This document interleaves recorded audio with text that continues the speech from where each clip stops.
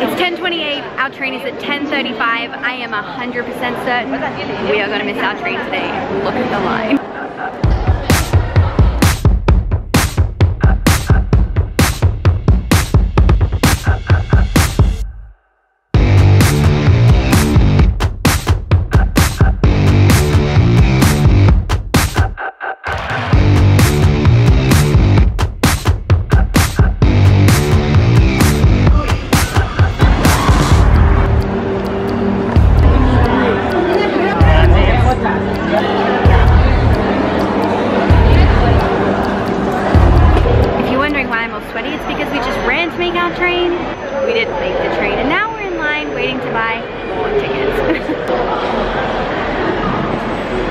So much queuing in China.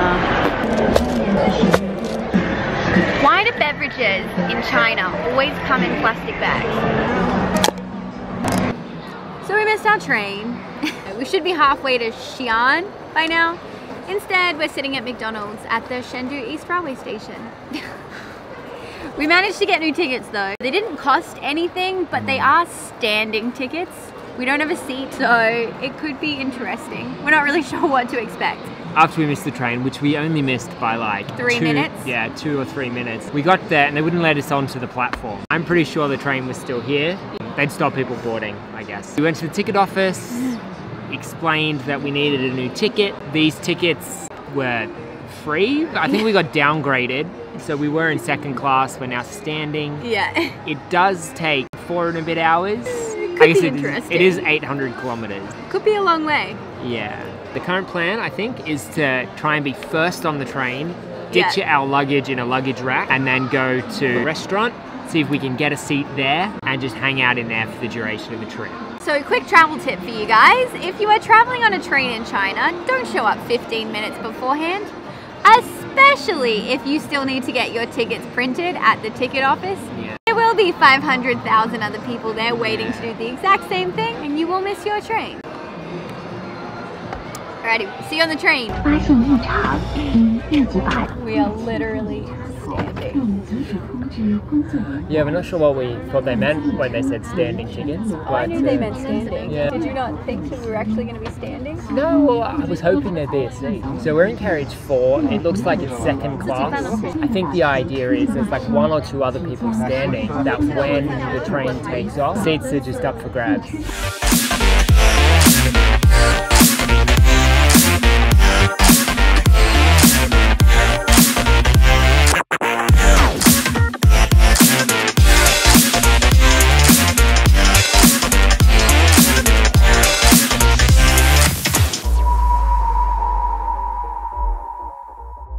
Managed to swindle some seats. So we're about two and a half hours in. It's been a long two hours standing, sitting on the floor. Crouching in a little ball, like behind all the seats. Yeah, have my like my knees up to my chest the whole time. It's not been very comfy, but we did manage to swindle some seats, so that is a bonus. So we're just hoping that no one comes to sit here for the rest of the trip. Now that we're sitting down, I think it's time for some train facts. Or not some train facts, just some fun facts. Travel fun facts.